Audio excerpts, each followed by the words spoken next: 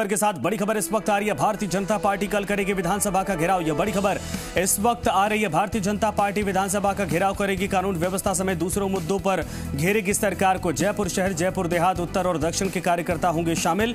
राघव शर्मा, रामानंद गुर्जर और जितेंद्र शर्मा की अगुवाई में होगा यह घेराव। यह बड़ी खबर इस वक्त सामने आ रही। कल का यह पूरा कार्यक्रम भारतीय जनता पार्टी का।